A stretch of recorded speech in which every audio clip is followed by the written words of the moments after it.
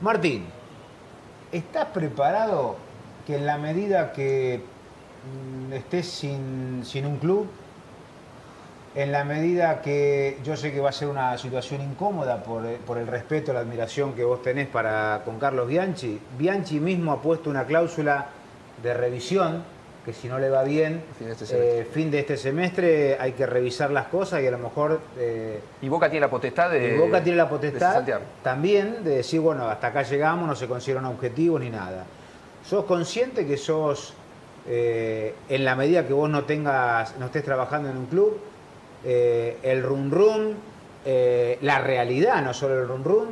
va a indicar todo Te va a ubicar que, en un lugar. te va a ubicar Claro. en una situación de, eh, lo llamaron a Palermo, eh, Palermo es el sucesor de Bianchi, ¿estás preparado, estás fuerte para otra vez eh, eh, esa, esa, presión periodística, la presión de la gente, en la medida que no le vaya bien a Boca? Obviamente que uno ya conoce el club, quizá me toque vivirlo desde otro lugar como entrenador, pero a ver, la experiencia la hemos hecho en este año, no sé si es mucho, si es poco, a veces eh, no sé si te basta en que tener experiencia para dirigir un determinado club, pero el conocimiento lo tenemos, eh, el poder dirigir a Boca es el sueño de algún día, cuándo y el momento se verá eh, ante la situación en que se encuentre Boca y requiera de, de, de mí como el cuerpo técnico. Obviamente que de ahí a eso puede llegar a pasar muchas cosas o que cuando me vengan a buscar yo me encuentre trabajando en otro club, como le pasó a, Guillermo, si han tenido intención de, ir a buscarlo y,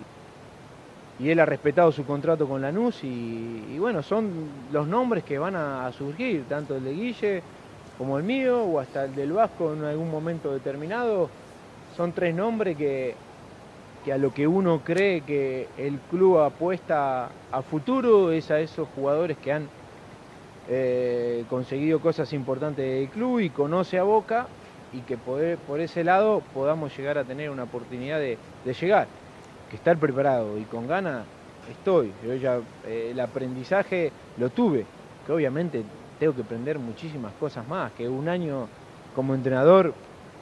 creo que no eh, ni el 1% de lo que puedo llegar a, a aprender y, y tener que estar eh, en conocimiento en, en los años que me va a, me va a dar como, como entrenador. Así que obviamente que necesito muchísimas cosas de, de aprender, pero el aprender es en el ruedo y en el estar en el día a día de nuevo eh, dentro de un vestuario, dentro de compartir eh, con planteles y eso. Después si es Boca, bienvenido sea. Y si no, seguiré esperando la oportunidad de, algún club que requiera de nosotros.